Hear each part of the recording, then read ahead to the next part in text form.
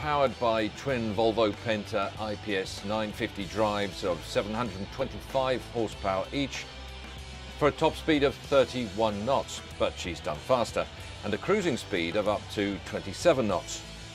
2,400 litres of fuel in the tank, providing a cruising range of around 265 nautical miles at 26 knots.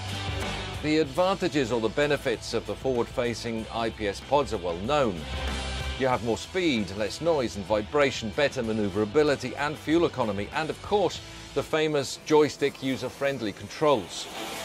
The Garmin electronics are completely integrated into the IPS system with this user-friendly interface, which in terms of aesthetics and functionality to my mind looks a little bit like a smartphone.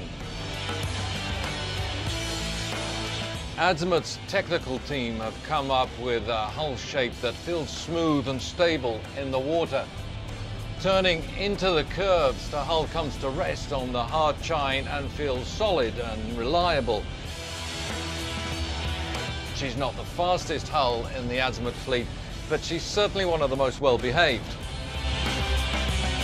Last but not least, the Azimut 53 is fitted with a Seakeeper 9 gyro stabilizer for motion comfort both underway and at anchor.